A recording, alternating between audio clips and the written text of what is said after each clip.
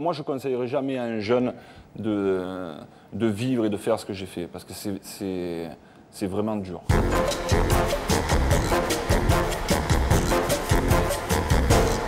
Alors voilà, bon, bah, il y a une légende de, une légende de Cantona, faite à la fois de, de génie du football et à la fois de, de rébellion contre l'ordre établi. Et c'est pour ça que vous êtes le bienvenu. Et alors, dans cette famille Cantona, il y avait un oncle ermite, et c'est important pour la suite parce que ça, vous a sûrement beaucoup influencé, euh, qui vivait au fin fond de l'Ardèche, euh, qui avait une barbe jusqu'au nombril, euh, qui avait des chèvres, qui assommait les truites qui pêchaient dans la rivière sur des rochers, qui mangeait des, fruits qu'il cueillait, des salades des prés, qui buvait l'eau des rivières. Et un personnage que vous n'avez pas rencontré, mais qui a dû beaucoup vous, vous marquer étant enfant, non? C'est mon idole, moi je ne l'ai jamais Ouais. connu, mais bon, par rapport à ce que mon- ma grand-mère a le don de raconter les histoires, elle le don de nous faire rêver, et elle, est arrivée à me faire aimer quelqu'un que je ne que je connais pas. Ouais. Dans mon imaginaire, c'est mon idole. Vous avez une enfance euh, au Caillol, Ouais. à Marseille, hein, qu'un quartier euh, moitié, moitié village, moitié HLM, enfin, non? On peut dire ça? Euh, à un moment donné, c'était un village, et puis maintenant, c'est devenu... euh, Des HLM. voilà. Alors, très tôt, euh, il y, a- deux traits dominants chez vous, Eric Cantona, c'est-à-dire euh, le génie du foot, ce que je disais tout à l'heure, c'est-à-dire que euh, très jeune, au Caillol, quand vous arriviez comme ça sur un terrain, on disait tiens, voilà le soleil qui entre. Donc le génie du foot, très tôt.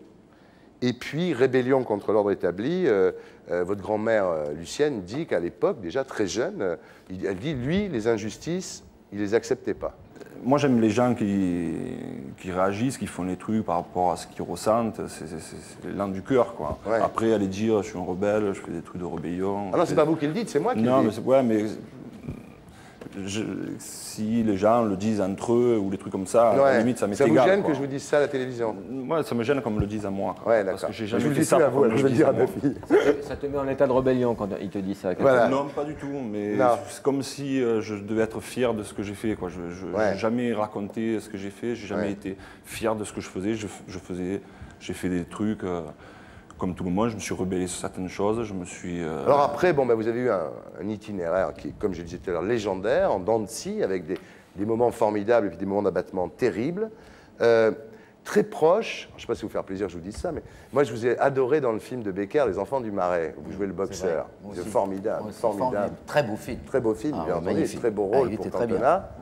Alors vous avez vu déjà dans quelques films, mais là je te veux dire que d'un seul coup c'était vraiment vous, quoi. C'est-à-dire à un moment, on moi à un moment j'ai de la peine, je me dis mais il va pouvoir le faire son match, j'espère quand même qu'il va pouvoir le faire son match. Et puis non, on comprend qu'il va rester en prison, qu'il va pas faire son match, et, et voilà. Et c'est un peu, c'est un peu un résumé de votre vie ce film. Ouais, j'ai vécu des trucs comme ça. Il y, a des, il y a des grandes compétitions que j'ai eu envie de jouer, des grands matchs que j'ai eu Ouais. envie de jouer, comme à m'empêcher de jouer. Alors, Quand non, mais- tu as donné tant de choses et qu'on te prive de ça à la fin, quoi. Ouais. Mais bon, c'est pas grave. Euh, Giroud, c'est le premier qui vous a repéré. Ouais, ouais, enfin, un de ses adjoints qui m'a repéré, ouais. Et donc à 15 ans, vous allez à la J Auxerre. Et là, pareil, alors ça commence. Un jour, il y a un mec, je ne sais pas si c'est vrai, mais un dénommé Martini, euh, vous, déblayez la- vous déblayez le terrain, vous nettoyez, il y avait de la neige sur le terrain. C'est-à-dire qu'on devait jouer un match, le stade était, euh, c'était enneigé, quoi. Comme Giroud, ben, c'est les joueurs, c'est nous qui devions enlever la neige. Ouais. Et on, on, on enlevait tous la neige, sauf euh, mec Sauf Martini ouais. Non, mais bon, c'est pas grave parce que c'est quelqu'un que j'aime beaucoup, Mm. que j'estime beaucoup. Je me suis attrapé avec lui et ça m'a. Je l'ai, je l'ai découvert à partir de ce jour-là. Ah bon? Ah oui, c'est ça. Et depuis, je l'aime énormément. Comme ça, quoi, des ça, fois, les disputes euh, en couple, homme-femme ou entre amis, quoi, apportent beaucoup de choses. Alors, vous êtes prêté à, vous êtes prêté à Martigues, hein, parce que vous avez beaucoup été prêté. Les, les patrons de club, après ça a été le cas de Tapi, les patrons de club, à un moment, quand on a, bon, ça commence un peu à foutre le bordel, alors ils le prêtaient à notre club. Vous êtes prêté à, à Martigues, bon, vous partez à Martigues, c'est très bien, parce que vous en profitez d'ailleurs pour euh, euh, rencontrer ou retrouver Isabelle, donc tout va bien. Après, alors, après Tapi vous convainc d'aller à Marseille, vous aviez une proposition importante du Matra Racing de la Gardère, et Tapi vous convainc en disant, tu es Marseillais, tu dois venir à Marseille. Non, c'est moi qui me suis dit, je suis Marseillais, j'ai Ah envie d'aller à Marseille. Vous n'avez pas eu besoin qu'on vous le dise, quoi. Non. À l'époque, vous avez quand même le plus gros transfert de l'histoire du, du football. 22 millions de francs, c'était en quelle année, ça? 89, non Ouais, c'est ça. 88, ouais. 89. Ouais. C'est le transfert le plus cher de l'époque. Et aujourd'hui, c'est quoi? Ah, bon, aujourd'hui, je sais pas, je sais pas combien, c'est combien un transfert C'est un aujourd'hui? joueur de deuxième division. Non, mais Ane- Anelka, il a touché. Anelka pour venir au PSG, c'est combien? Pas, 250, non un truc comme ça. 250, ouais, c'est 10 fois plus. Voilà. C'est-à-dire qu'en 10 ans, vous auriez dû faire footballeur. vous. En 10 ans, moi aussi, en 10 ans, ça a multiplié par 10. C'est-à-dire, lui, c'était 22 millions. C'était à l'époque, tout le monde disait c'est extraordinaire, et maintenant, c'est 220 millions. Voilà. Euh, bon, l'OM, au début, ça marche pas très bien, mais vous, ça vous plaît, parce que vous dites quand on doute de moi, je deviens bon. Ouais, mais là, j'étais pas bon. hein. Ouais. On de moi, je commençais à douter de moi. Oui. Mais non, mais c'est. Je ne devais pas retourner à Marseille. Ouais. Parce que je suis parti jeune, je suis parti il y a 15 ans, je n'avais Ouais. pas vécu la vie que je devais vivre. Et je suis arrivé là-bas et j'ai vécu, j'ai vé- j'ai vécu toutes les vies sauf celle que doit vivre un sportif de haut niveau. Ouais. Et- mais par contre, ça m'a servi par la suite. Alors c'est cette époque, effectivement, où vous disputez avec Henri Michel, qui vous sélectionne pas dans l'équipe de France contre la Tchécoslovaquie. Et alors là, à l'époque, il faut dire la vérité, vous étiez copain avec Mickey Rourke. Et Mickey Rourke, il était en France, il faisait la promotion d'un film qui s'appelait Homeboy, et vous étiez copain avec lui. Et Mickey Rourke, c'est un fou furieux, Mickey Rourke. Il avait dit, en parlant des Oscars d'Hollywood, c'est un truc de sac à merde, évidemment. Cantona, qui était son pote, Ils se sont bien trouvés. tous. ils se sont bien trouvés tous les deux. Et à un moment, vous avez déclaré qu'Henri Michel était un sac à merde, évidemment, ça n'a pas... J'ai dit ce que je pensais à ce moment-là, ouais. Mais. Ouais, mais bon, c'est des trucs qui restent dans l'histoire et qui sont pas très très graves, quoi. Parce que des fois, bon, les mots, ça dépasse euh, la pensée ou les mots ne sont pas à la hauteur de ce qu'on pense. quoi. Ouais. Mais non, ce que j'essaie de dire là, en fait, c'est que ce qui, vous a, ce qui a fait de vous un personnage légendaire par rapport à d'autres très bons footballeurs, mais qui ne sont pas des légendes, c'est qu'il y avait à la fois ce, ce génie du foot, évidemment, inné, et il y avait aussi cette espèce d'attitude comme ça, et c'est ça qui, a créé l'image de, de Cantona, enfin de Canto, comme on a commencé à vous appeler à l'époque d'ailleurs. Je sais pas, en tous les cas, ça m'a. Putain. Non, aujourd'hui c'est bien parce qu'on a réussi quelque chose. quoi. Qu'est-ce qui se passe Qu'est-ce Non, mais elle, elle- si elle, non, j'ai- ah, Eric, si elle vous allume, ne vous étonnez pas. Moi, tout à l'heure, j'arrivais même plus à faire l'interview. Il y a des trucs en Non, dessous c'est quoi, qui on arrivent. parlait de quoi là? Non. On disait que ce qui vous a, ce qui vous a, ce qui a fait l'image de Canto, Non, mais je crois que, ce que- euh, moi je conseillerais jamais à un jeune de, de vivre et de faire ce que j'ai fait parce que c'est- c'est c'est vraiment dur. C'est dur. euh, j'ai souffert et j'y ai laissé des plumes. ouais, Et c'est. Faut être. euh, faut être bon déjà pour arriver à se faire accepter. Parce qu'au début, les gens, euh, maintenant, la tendance s'est- s'est renversée parce qu'il y a eu des performances ouais, sur le terrain. oui, Mais au départ, on voulait oui. me vrai détruire. c'est vrai qu'à l'époque, Et les- tous les gens, Ouais. beaucoup de gens aujourd'hui qui, qui, qui m'aiment ont Mm. été, les premiers à vouloir me détruire. Ouais. Mais après, on, on arrive à renverser la tendance parce qu'on sur le terrain, on fait ce qu'il faut. Ouais. Mais sur le terrain, on fait ce qu'il faut en se préparant, en prenant des trucs Ouais. et en ayant les épaules Ah bien. après, il faut assurer, plus- Mais il faut assurer. euh, plus mais on emmerde les gens- ça à personne. Bah oui, Je conseille, je conseille ça à personne parce que je pense que si j'avais pas vécu cette vie, peut-être que j'aurais fait mieux que ce que j'ai fait. Mm. Même si quelque part ça m'a motivé. On va le voir. Alors bon, je ne veux pas raconter tout, évidemment. j'avais besoin de ça. quoi. Il y a eu l'époque à Sedan euh, contre le Torpedo où à la 27e minute, vous balancez le ballon dans les tribunes, vous engueulez avec l'arbitre et, et vous, et vous jetez le maillot à terre, ce qui évidemment. Et même Tapi, qui à l'époque venait d'être euh, nommé député, enfin élu député, euh, il vous soutenait plus à ce moment-là, Tapi. Non, il m'a jamais soutenu. hein. Ouais. Il disait en parlant de vous, s'il faut le mettre en clinique, on le mettait en clinique. Ouais, mais on aurait pu se retrouver. hein. Ouais. Mais, euh, Bon, là, on va pas, on va pas tout faire, mais c'est vrai que là, vous êtes prêté à Bordeaux, puis à Montpellier, etc. Et il y a une bagarre dans, dans les vestiaires du club à Montpellier. Et le problème, c'est là que ça commence, le vrai problème, parce que jusque-là, c'est là encore. L'entraîneur, c'est Aimé Jacquet. ouais. Voilà. Mhm. Et là, Ouais, bon, ouais. est-ce que vous vous pensez pas que finalement, ce qui vous a conduit à tout ça, c'est une espèce de, de désir de pureté absolue, de de ne pas vouloir euh, accepter les règles du jeu, c'est le cas de le dire, enfin pas du jeu sur le terrain, mais du jeu en dehors du terrain Non, ce que, ce que j'ai fait, je l'ai- fait pour moi, certaines fois, parce que j'en avais besoin, et je l'ai fait aussi pour l'équipe. Mm. Quand je sentais que ça allait pas, et je pense euh, être quelqu'un de loin d'être intelligent, pas du tout intelligent, mais peut-être un truc instinctif. quoi. Je, je- je sens quand euh, on a besoin de quelque chose. C'est un sport collectif, on a besoin à un moment donné d'un leader ou quelque chose qui fait qu'il y a un, un choc psychologique. Et pas obligatoirement le, changement d'entraîneur ou des trucs comme ça.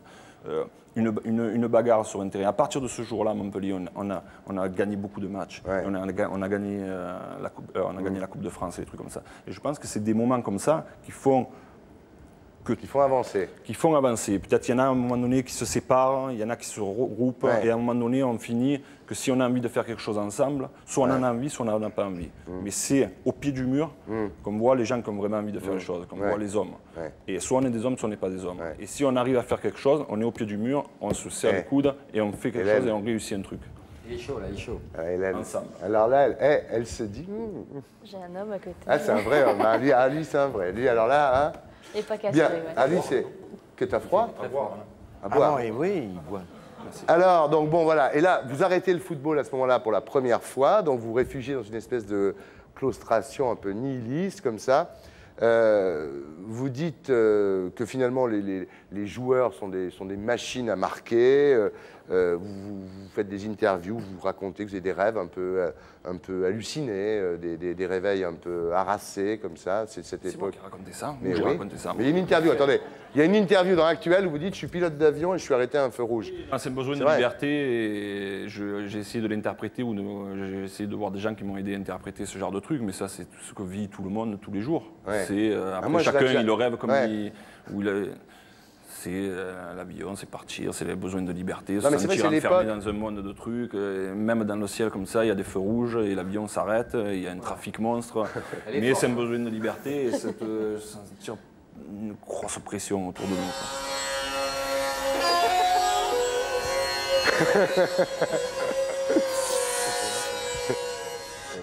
Bien.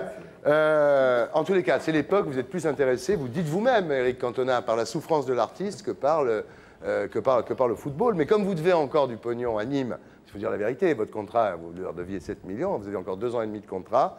Mais là, je payais. Vous avez payé, oui, bien sûr, je ne dis pas que vous n'avez pas payé. Non, non, je devais payer puisque je devais arrêter et puis j'ai pas arrêté. Mais je, je m'étais avancé. C'est des gens j'aimais engagé à payer Je me suis engagé à payer. Je m'étais engagé à payer. les 7 millions. Ouais, Ouais. ce que je devais. Et là, Ce qu'ils avaient payé. Et là, c'est pour ça que je raconte tout ça, c'est pour montrer ça, cette espèce de ressort que vous avez eu. À ce moment-là, vous en avez marre, vous partez en Angleterre, alors vous, vous le savez, ici, il y a peut-être des gens qui le savent, mais les téléspectateurs ne le savent pas tous, moi je ne le savais pas vraiment. Vous partez en Angleterre, ça commence avec Sheffield. Alors là, le coach, il veut vous mettre à l'essai, vous dites on ne met pas Cantona à l'essai, on ne teste pas Cantona. Bon. Euh, vous allez à Leeds, euh, et alors voilà, c'est le début de votre deuxième carrière, qui est peut-être moins connue que la première, puisque ça se passait en Angleterre. Enfin, il y a eu en Angleterre une cantomania euh, absolument délirante. Il y avait, il y avait les, supporters, ils s'appelaient l'armée dingue de Cantona. C'était un groupe de, hein, un groupe de, supporters de vous. Euh, ils avaient des maillots de l'équipe de France, qui pour des Anglais quand même extraordinaires. Ils chantaient la Marseillaise. Et donc, vous avez ces phrases formidables qui ont séduit les Anglais. C'est I love you, I don't know why, but I love you. Et ça, ça les a explosés. Tout ce que je savais dire, c'était I love you, Ouais. euh, because, euh, why, euh, I don't know why, but I love you. Michel Mabel, enfin, t'en as tiré plus d'une avec ça. hein. Et ouais. Comme quoi, des fois. hein. C'est Ouais. pas, c'est pas la peine d'avoir un vocabulaire très. Mais là, ça les a séduits. I love you, I don't know why, but I love you, ça les a séduits. Qui n'est pas séduit quand on. Quand on a un Français un peu costaud qui vous dit ça et que c'est un bon joueur de foot, je sais pas, faut lui demander. Je peux me caser. Mais je vais absolument vous caser. Mais ouais, oui. Non, mais j'étais persuadé que vous aviez un Jules, vous. Mais je vous le dirai pas. Ah bon Je garde le mystère. Il a de la chance en tous les cas. Bien, alors là, vous êtes à Manchester, donc euh, Manchester champion d'Angleterre. C'est à ce moment-là que la France est éliminée en- de la Coupe euh, du Mondial. Euh, la France est éliminée euh, contre la Bulgarie euh, à cette époque-là, euh, 2-1. Ouais. Et c'est vrai que vous aviez une suffisance à l'époque, l'équipe de France, et vous pensiez tous que vous alliez aller en Amérique. Mais non, il fallait qu'on prenne un point. On avait deux matchs à jouer euh, au parc euh, contre Israël et, et la Bulgarie. Ouais. Mais vous étiez persuadé que vous alliez aller en Amérique. Il disait Ta femme, elle y va Toi, non, la mienne, elle ne vient pas. C'est-à-dire, vous y étiez déjà. Et voilà, on Et au dernier, j'étais au parc, moi, au dernier moment, on mettait les manteaux, et puis Kostandinov, et voilà, fini. Comme pour l'Italie, mais dans, dans le mauvais l'autre sens. sens, oui. cette fois, c'est. Voilà. Et là, il vous restait plus qu'une Coupe du Monde avant la retraite. Vous vous êtes dit, euh, celle-là, je ne vais pas y aller, il m'en reste une, euh, c'est 98. Hein? On y vient. On y vient doucement. D'abord, en 95, il y a eu, au Christ- il y a eu l'affaire du Crystal Palace. Quoi. Ouais. C'est là qu'il y a cette phrase extraordinaire d'Éric Cantona. Quand les mouettes suivent le chalutier, c'est qu'elles pensent qu'on va leur jeter des sardines. Voilà. Cette phrase impérissable d'Éric Cantona a été prononcée à ce moment-là. C'était. Ça vous est venu comment cette phrase? Maintenant, il venait d'y avoir le procès, et puis je, je venais d'être. euh, enfin, je, je j'avais payé, quoi. Ouais. Puis il y avait, il y avait tout, il y avait plein de journalistes, quoi. Puis ils voulaient que, à tout prix que j'aille parler, que j'aille dire deux mots. Ouais. Et vous avez sorti? Quand les Euh, mouettes suivent le chalutier, c'est qu'elles- ça veut dire quoi? Ça veut dire les chiens aboient, n'a la à caravane passe? Non, mais ça. c'est- rien, Non? comme j'aurais pu dire, euh, le rideau il est rose, moi je le vois rose, si toi tu le vois doré, Ouais. euh, c'est pas grave, il y a des lumières et puis on s'aime. Ouais. Vous avez dit ça comme ça, quoi. Et c'est resté. Parler pour parler. Ouais, parlez pour Et parler. comme quoi, Alors Manchester, mal- malgré l'affaire euh, Crystal Palace, Manchester vous garde. Le seul qui veut plus de vous, c'est Aimé Jacquet. Et à partir de là, vous êtes barré dans l'équipe de France par euh, l'axe euh, Zidane-Djorkaeff. Euh, donc vous ne faites pas l'Euro 96. Euh, à une époque, alors ça a dû être terrible pour vous, parce qu'en Angleterre, c'était l'époque de votre plus grande gloire. C'est-à-dire qu'en Angleterre, il y avait des sondages où la majorité des hommes anglais préféraient passer- dé- déclaraient qu'ils auraient préféré passer leurs vacances avec Cantona plutôt qu'avec Cindy Crawford. C'est-à-dire que vous avez une cote en Angleterre. vrai à que Cindy à l'apéro, elle tient pas. hein. non, mais c'est vrai, le- les t-shirts 7 avec marqué God comme ça, euh, 160 millions de francs, ça rapportait en une année à Manchester, ce qui était plus que la vente des billets du club pendant un an. À un moment, vous avez une cote énorme en Angleterre, et, et- et en France, vous êtes barré dans l'équipe de France euh, parce que Jacquet euh, pense que si vous allez dans le fameux collectif, vous allez foutre le bordel, non? C'est ce qu'ils pensent. ouais. Hein? Ouais, ouais. Il est venu vous le dire, c'est vrai, parce qu'il raconte dans son livre de mémoire, Aimé Jacquet, qu'il est venu en Angleterre vous expliquer ça. Il est vraiment venu vous voir? Bah, il est venu, mais j'étais dans une fête et il m'a donné rendez-vous et je suis arrivé deux heures après. hein. Ah oui. Je crois que c'est. C'est ça. Mais, non, mais Mais en fait, je sais pas s'il était venu me dire ça. Ouais, ouais. Ouais, Il était qu'il peut-être était venu me dire autre chose et puis il s'est Ah dit non, non, ça je suis- serait- moi je suis sélectionneur, je Eric- suis pas là pour attendre deux heures le gabarit. Et puis finalement, il m'a dit autre chose. Ça serait terrible, ça. Mais je sais pas. Attendez. Je ne saurais jamais, je veux Eh, pas savoir. tout c'est un scénario de film génial. Imaginez qu'il ait fait le voyage, euh, Aimé Jacquet, pour vous dire Mais finalement. ce qui est bien, c'est qu'il a jamais dit ça. Mais Ouais. moi, je le dis aujourd'hui pour la Ouais. première fois. Ouais, Et il c'est n'a vrai. jamais dit pour se défendre de quoi que ce soit. Ouais. Donc, Ouais. quelque part, c'est quelqu'un. euh, il peut être respectable, je pense. Mais ouais, pour ça. Maintenant, vous allez éteindre la lumière chez vous et ici aussi.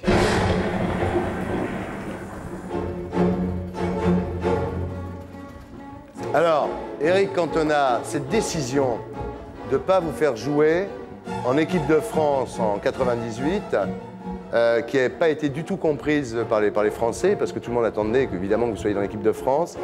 Est-ce que vous en voulez aimer Jacquet? Est-ce que vous avez de la haine? Parce que finalement, votre rêve s'est envolé ce jour-là.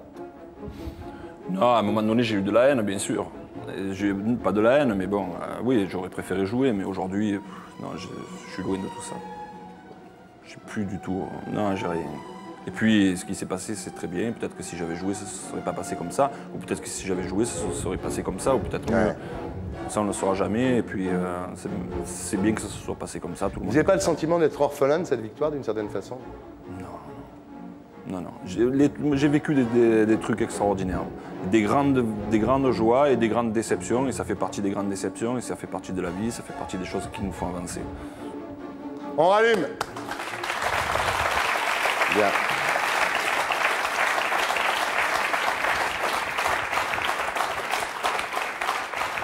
Alors, il y a eu aussi le cantonat euh, autodidacte, c'est-à-dire qu'il y a eu un, un choc à Aix quand vous avez ren- rencontré Isabelle. Elle vous a branché sur, la, sur, sur, la, sur les livres d'une certaine façon. Ça, ça a été un choc pour vous? Ben, j'ai choisi la femme que euh, la, moitié que je suis pas, quoi. Ouais. C'est-à-dire euh, même pas un autodidacte, je suis rien. J'ai arrêté l'école très tôt. Ouais. J'avais besoin du- de, de- de la femme euh, Ouais. qui faisait qu'à deux on fait quelque chose de bien. On choisit, je crois, toujours le partenaire qui. Bien sûr.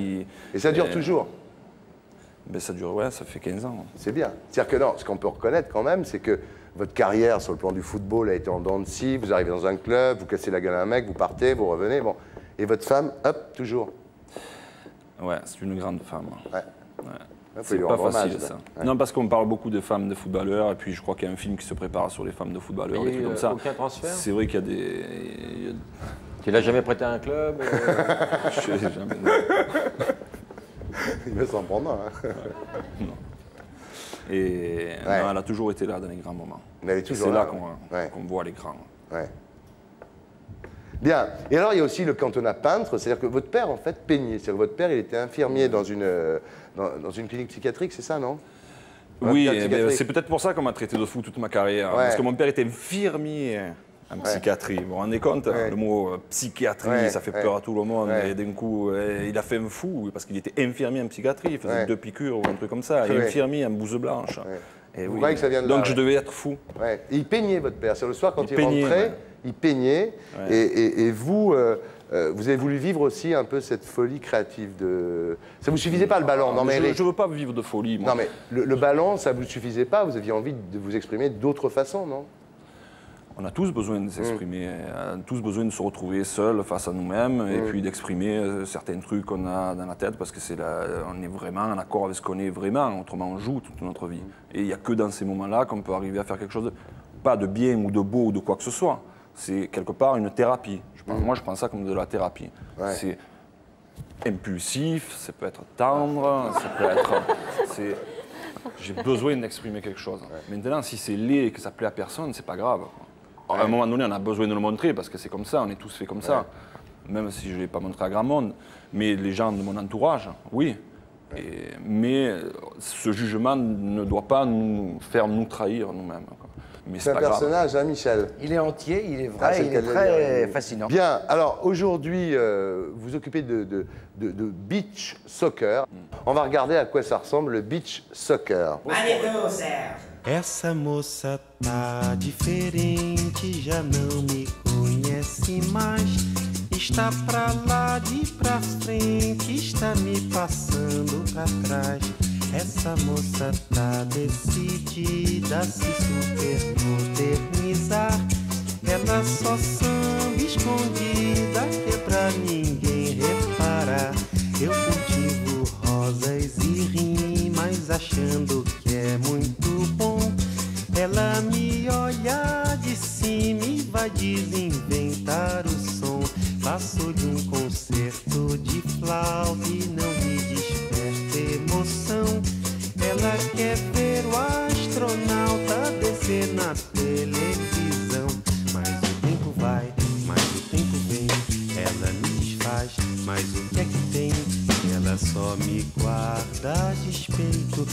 só me guarda desdém. Mas o tempo vai, mas o tempo vem. Ela me desfaz, mas o que é que tem? Se do lado esquerdo do peito, no fundo ela ainda me quer bem. Essa moça tá diferente, já não me conhece mais. Está pra lá, de pra frente, está me passando pra trás. Essa moça é a tal da janela Cantona, donc, qui joue au beach soccer. Et c'est visible sur Pathé Sport. Bon, alors le beach soccer, parlez-nous de ça, parce que c'est vrai qu'en France, dans le monde, c'est connu. En France, c'est moins connu. Donc, d'abord, qui y a dans l'équipe? Euh, Aujourd'hui, ben, il y a des mecs qui ont arrêté il n'y a pas longtemps, euh, comme Fournier, comme Guéret. Et Olmeta Pascal Olmeta, mon frère Joël, et puis d'autres moins connus qui ont été de, de bons footballeurs. Mais notre ambition à nous, c'est de, de se ser- de se servir de tous ces joueurs comme ça pour que chacun développe dans sa région vraiment un sport où les jeunes jouent, qu'on mette des, des terrains à disposition des jeunes, parce que c'est un terrain, on joue à pieds nus, ça coûte Oui, rien. on du joue à tout. 5 contre 5, c'est ça hein? Au Brésil, c'est très populaire. Ouais. Au Brésil, sur les plages, il y a des poteaux. Ça coûte quoi de mettre deux poteaux sur une plage, les grandes plages qu'il y a tout, surtout euh, Au Cap d'Agde. ouest euh, ou des comme ça. là-bas aussi, c'est un peu. Ouais. Cap d'Agde. Oh mon Dieu. Non, non, elle, elle passe ses va- elle- elle passe ses vacances poil, au Cap Le mauvais d'Agde. souvenir. Non, c'est une horreur. On m'a emmené Tous les ans, elle va au Cap d'Agde. C'est son truc. Mais moi, je fais ça parce que c'est vraiment un sport, c'est un sport qui me plaît. Je, je Ouais. fais ça sans, sans intérêt. Ce qui, me- ce qui me plaît, c'est de promouvoir un sport que j'aime parce que c'est un sport de fête, c'est un, beau- c'est un vrai sport. Un, c'est un beau ça permet de sport, faire c'est des, l'été. des coups de pied retournés, vous, ça vous arrange parce que vous êtes quand même le C'est très spectaculaire, Ouais. on voit des buts, euh, on voit des gestes, des gestes euh, spectaculaires euh, dix fois plus que sur un terrain de foot Mm. normal. C'est moins dangereux C'est un sport public. qui est complètement à part du football, mais je pense que c'est un beau sport. Mec Et j'ai envie de promouvoir euh, ce sport. Le mec qui t'insulte, t'es moins dangereux pour lui, t'as pas de crampons là. Un grand. Bien, alors, il faut dire que Eric Cantona est quand même le meilleur buteur français dans cette spécialité-là aussi, parce que vous avez 14 buts euh, à votre actif. Ça vous plaît, Michel? Ah oui, ça me plaît. C'est sympa, hein? Ah ouais. En plus, l'avantage, c'est que ça se joue sur des plages, donc comme ça, au moins, on est au soleil. On n'est pas obligé d'aller s'emmerder à Sedan ou à Valenciennes ou dans des endroits comme ça. Hein? C'est Non, sympa. même si on peut jouer là-bas aussi. Oui, Mais couvert. indoor. Indoor, oui, c'est ça, voilà. indoor. Bien. Alors, euh, vous avez eu des hauts, vous avez eu des bas, et on va faire une interview up and down.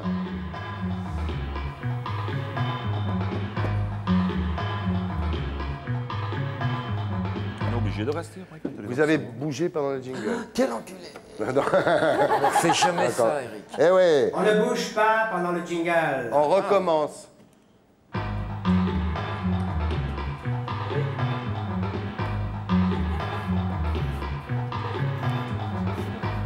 Un gros con. Non mais attendez, je croyais que vous étiez une bonne petite euh, Quoi bourgeoise bien disciplinée et tout, qui preuve, mettait hein. jamais de porte-jartel, jamais de talons, seulement dans les films. Tu savais. Oh là. Oh là Bien, alors, qu'est-ce que vous préférez en vous? Ce que vous préférez en vous, votre qualité préférée chez vous? Madame de sagesse. Hmm? Madame de sagesse. La dame Ouais. de sagesse que je vous fais. Vous aimez votre dent de sagesse? Ouais. Qu'est-ce que vous haïssez en vous? Euh, Madame de sagesse. Ce qui vous plaît le plus dans le foot? Euh, les supportrices. Qu'est-ce qui vous plaît le moins? Euh, leur mec. Dans le cinéma, parce qu'on n'en a pas, parlé ce soir, mais vous avez fait quelques films, à commençant par le, Le Bonheur est dans le pré, et puis en terminant, donc, comme on le disait, avec Les Enfants du Marais, bientôt Corto Maltese. Qu'est-ce que vous préférez dans le cinéma? Ben, j'ai beaucoup rêvé, et puis je rêve moins maintenant. Mais bon, ça nous peut-être parce que j'ai pas eu de belles aventures. Enfin, j'ai eu de- ouais, des aventures bien, quoi, mais. Non, c'est long, quoi. Non, je crois que c'est bien quand on n'a rien fait d'autre, quoi. Mais quand on a fait un sp- Ouais. Quand on a eu une vie intense comme celle d'un sportif de haut niveau, c'est. Ouais. Attendre, euh, le moment où le réel dit Ouais. moteur. Mais je crois que je suis chiant. pas assez bon, quoi, en fait. Pourquoi vous dites Non, ça parce que Ça, là, vous euh, j'ai jamais vécu le truc que j'entends parler. Moi, on dirait que c'est des extraterrestres. Alors, euh, moi, j'ai pas vécu ça. Ouais. Les montées de trucs, et de partir dans un délire, de machin, de la, cinéma, ça. la transe, j'ai jamais vécu. Ouais. Mais ça doit exister. hein. Mm. Mais je dois pas être assez bon pour ça, donc c'est pas, c'est pas obligatoire, c'est Mm. pas fait pour moi. C'est, c'est pas mémorable. Il n'y a pas de. de- Ouais. Moi, je, je me rappelle de, de- de gestes, de moments de, foot extraordinaires, sans doute parce que c'était ma vraie passion. Ouais. Et que le Et cinéma, c'est pas ma vraie passion. Mais plus de mais, je, mais je pense qu'il y a des. Oui, les, les vrais acteurs ou les gens pour qui c'est la passion, ils, ont peut-être ces moments, hein, mais pas moi. Non. Votre match préféré, ça a été quoi? Non, quand je suis revenu, peut-être après ma suspension contre Liverpool, Ouais. Et celui que vous avez détesté? Euh, la Bulgarie. ouais. Ouais. C'est terrible, hein C'était. euh, Ben on, on se demande ce même pas, on, on pleure même pas quand on, se- Ouais, vous y croyez pas, quoi. Ouais, on a fait un cauchemar, quoi. Mais, mais, vrai- mais ça dure. quoi. Ça dure et encore aujourd'hui, Ouais, je me la demande si c'est vrai. Quoi. Ouais, vous avez dit, est-ce que je vais me réveiller? Ouais, après le. Ouais. Ouais, mais c'est, ouais. c'est, pas une- c'est même pas une déception, quoi. C'est, une peur de, d'avoir, de ne pas savoir vraiment si on vit la réalité, ce qu'on est en train de vivre. quoi. Ouais. Ce que vous préférez dans la vie, c'est quoi? Être bien avec les gens que j'aime, euh, que je sente qui, qui, qui s'expriment comme ils ont envie de s'exprimer, que je me sente moi vraiment libre de dire quoi que ce soit, je- que, je me- Ouais. que le lendemain je ne me réveille pas en me disant ça va il va se raconter ça ou ça ou ça. Ouais. J'ai choisi mon entourage, je pense que je me suis bien entouré, j'aime mes amis et je peux faire ce que je veux, vivre la vie que je veux, dans l'intimité avec ces gens-là, Mm. sans me dire euh, que je vais être jugé sur quoi que ce soit. Et ce qui vous fait le plus chier dans la vie, c'est quoi? Ben, c'est de, voir- de devoir euh, chercher, répondre à tous ces trucs. là.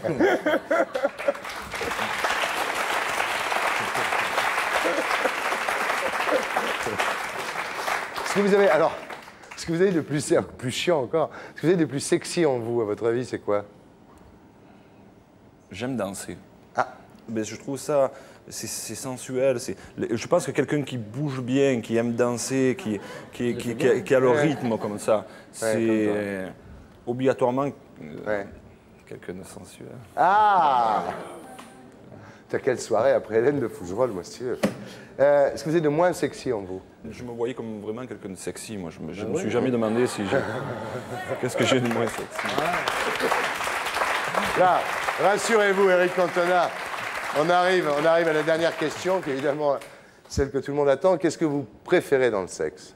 Mon plaisir, c'est le plaisir de l'autre. Ah, Et quand t'es seul Et si je fais rien ouais, et que je sens que mon partenaire prend du plaisir, Ah, c'est mon plaisir. ouais. Et, c'est, pas obligatoire, hein, Ouais. mais c'est, ce vers quoi je Vous vais. tendez. J'essaye. Là, vous marquez, C'est eh, un grand là, vous marquez un grand Rien point. que le fait d'espérer, c'est un grand moment. Vous marquez un grand point. là.